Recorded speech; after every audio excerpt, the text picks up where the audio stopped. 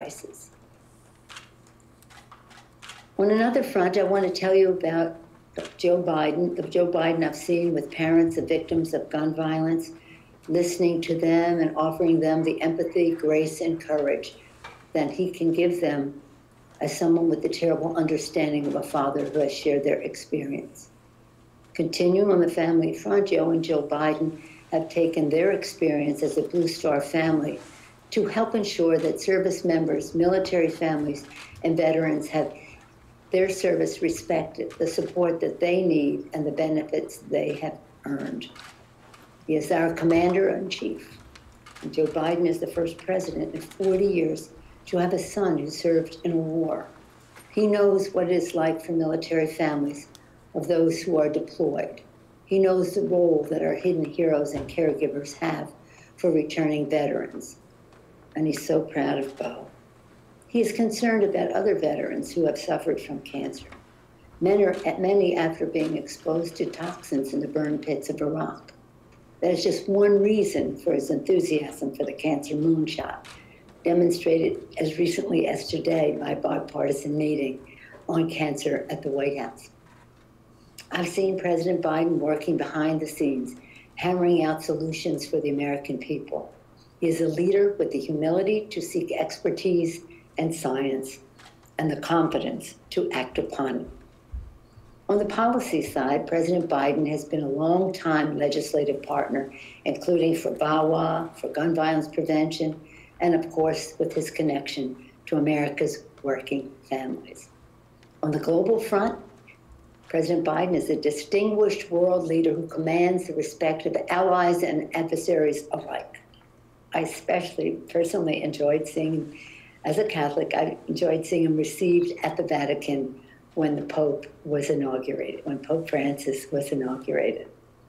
On the political front, Joe Biden has campaigned with or for many members of Congress, almost everyone in this virtual setting. Thank you, Mr. President, for being there and for with us and for us. My husband Paul always says, I just wonder how long into a speech it will be before Nancy starts talking about her grandchildren, our grandchildren. My grandchildren have for many, many years been longtime friends of Joe Biden. They have a range in age, but all of them love Joe Biden. But let me tell you one story. I think it was like 2013, four and five year old, two of my, Paul and Thomas, uh, we were at an event, the DCCC in New York, and Joe Biden was the featured speaker they were so excited to see him because they'd heard so much about him from their cousins. And they met him, they talked about pets and things like that. And afterward, after the, the luncheon was over, I took them for candy, don't tell their mom. I took them for candy at a place still in, in New York. Well, they have sort of like swinging doors. You have to get through the doors, uh, uh, one part of the store to the next. So here they are, Pace is packed and jammed. These kids are making all this noise over there on the side. And all of a sudden, I hear them pronounce. In order to open these doors, we do not say open sesame, we say open Biden. That's our magic word. Open Biden. I love it. Now more than ever, we need a battle tested, forward looking leader who will fight for the people, a president with the values, experience, and the strategic thinking to bring our nation together and to build a better, fairer world for our children. As president, he is taking us to new heights of inclusion in the success of America. President Biden is a leader who is the personification of hope and courage, values, authenticity, and integrity. Joe Biden is president, as president, and with Democratic majorities in the House and Senate, we will deliver bold progress for the people. And now it is my privilege to present the 45th President of the United States, as my children, grandchildren would say, open Biden, Mr. President. Nancy, I love you. There's no one I'd rather work with than you. We've been friends a long time and your whole family, your daughters, and it, it's just been a great relationship. And uh, I think that uh, Angie was absolutely correct that you've been the consummate leader. I've been here a long time, and there's been no speaker that's been your equal, although there's been some great speakers. And uh, you just have a special way about you, Nancy. And you're also uh, very, very, which is important, you're kind, but you're tough. And you know what's right, and you stick by it. And uh, I admire the devil out of you. And uh, I, uh, I, I want to thank uh, somebody I campaigned for. He was leading by 30 points till I campaigned for him, but he still won anyway, Hakeem Jeffries, and, and Vice Chair uh, uh, Aguilar for putting this conference together and including me. And I want to thank the entire leadership team and all your committee chairs for taking an important uh, step in the American Rescue Plan last week. You all showed at a time when the American people are depending on us, and they are desperately in need of us, that a diverse caucus isn't a divided caucus.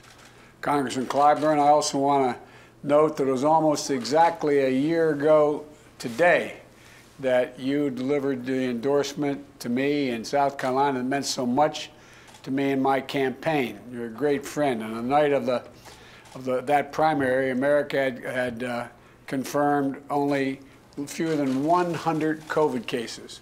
That's just a year ago. Breonna Taylor and George Floyd were still alive. California yet to suffer the worst, the wor- what would become the worst fire season in recorded history. And there have been no violent insurrection on the Capitol Hill. And uh, I could go on. A lot's changed.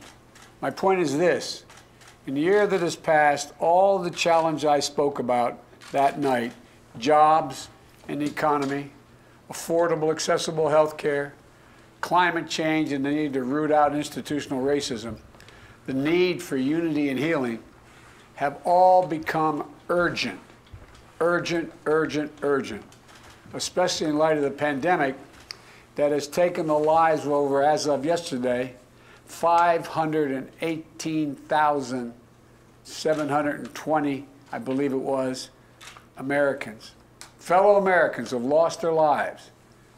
And more than 400,000 businesses, mostly small businesses, many minority businesses, have been shuttered. Cost of millions of jobs, 1.3 million public sector education, nurses, cops, firefighters, essential workers have lost their jobs. So my message today is really simple.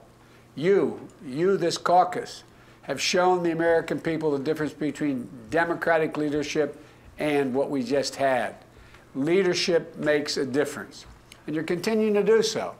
For example, I know that this week you're working on the Protect Our Democracy reforms, as well as the George Floyd Justice and Policing Act, both of which I strongly support. And I know that the past couple of days, you've had briefings and conversations on immigration, healthcare, foreign policy, climate crisis, and a lot more. And as you work on all of these, I urge you to continue to speak up and speak out about the American Rescue Plan. And here's why. You know, the confidence in the American, American government has, has been plummeting since the late 60s to what it is now.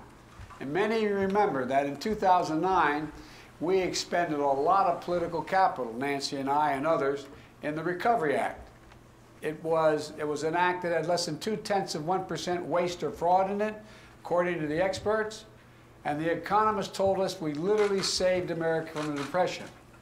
But we didn't adequately explain what we had done.